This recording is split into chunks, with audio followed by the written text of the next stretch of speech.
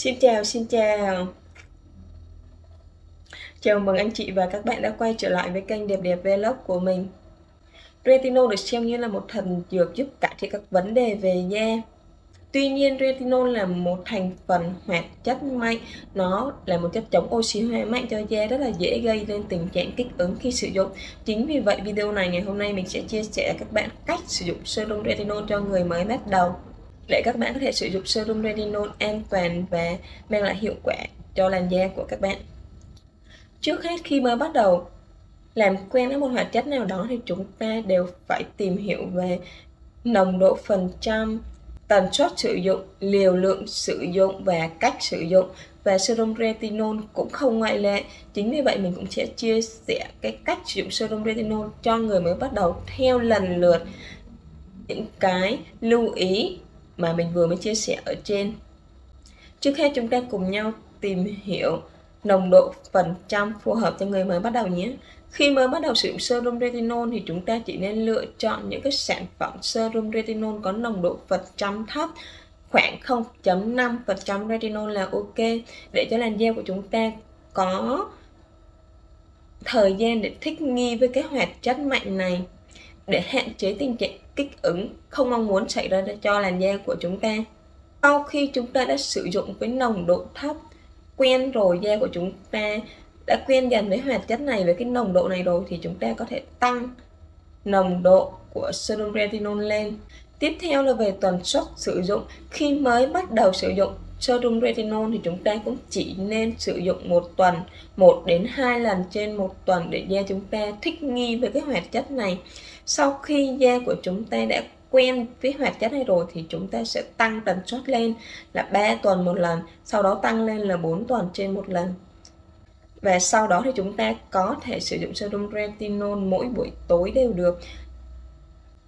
Serum retinol thì rất là nhạy cảm với ánh nắng mặt trời do đó chúng ta tốt nhất là nên sử dụng serum retinol vào buổi tối và sức kem chống nắng vào ban ngày.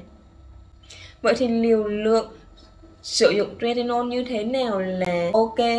Thì chúng ta nên sử dụng serum retinol với một lượng vừa đủ bằng hạt đậu thôi các bạn. Chúng ta không nên sử dụng quá nhiều. Mỗi lần sử dụng chúng ta chỉ lấy một bóp bằng một hạt đậu, sau đó chúng ta sẽ chấm lên các điểm chén mũi hai má và cằm. Sau đó từ 5 điểm này chúng ta lại tiếp tục chia nhỏ ra thành từng điểm nhỏ khác và chúng ta sẽ tán đều một lớp thật là mỏng ở trên da của chúng ta. Vậy thì cách sử dụng serum retinol như thế nào? Như hồi nãy mình vừa chia sẻ thì chúng ta tốt nhất nên sử dụng serum retinol vào ban đêm và cái quy trình chăm sóc da vào ban đêm đó chính là tẩy trang, rửa mặt, tẩy tế bào chết một tuần 1 đến 2 lần, toner, serum và kem dưỡng. Nguyên nhân là do serum retinol là một thành phần hoạt chất mạnh do đó, khi mới bắt đầu thì chúng ta nên sử dụng serum retinol sau bước kem dưỡng để giảm độ mạnh của retinol lại và tránh tình trạng kích ứng không mong muốn xảy ra hoặc nền da của chúng ta là nền da yếu và chúng ta mới bắt đầu sử dụng serum retinol thì chúng ta nên sử dụng kem dưỡng trước, sau đó mới đến serum retinol. Trong trường hợp chúng ta đã sử dụng serum retinol quen rồi và là, và nền da của chúng ta là nền da khỏe, thì chúng ta có thể sử dụng serum retinol trước, sau đó mới đến kem dưỡng để phát huy cái độ mạnh của retinol để mang lại hiệu quả nhanh hơn. Và bình thường sử dụng kết hợp hai bộ đôi đó chính là serum red retinol của hãng The Face Shop và kem dưỡng vitamin B5 của hãng La Roche-Posay. Mình cảm thấy sự kết hợp này rất là ok đối với làn da mình các bạn. Vì serum retinol thì nó khá là mạnh và rất là dễ gây kích ứng cho da. Và khi mà mình sử dụng kết hợp với kem dưỡng B5 thì kem dưỡng B5 này nó sẽ làm dịu da, làm hạn chế cái tình trạng kích ứng cho da và đồng thời là nó cung cấp độ ẩm cho da rất là tốt cho nó, da không xảy ra tình trạng kích ứng cũng như là bong chóc da khi sử dụng serum retinol. Các bạn có thể tham khảo thêm ha.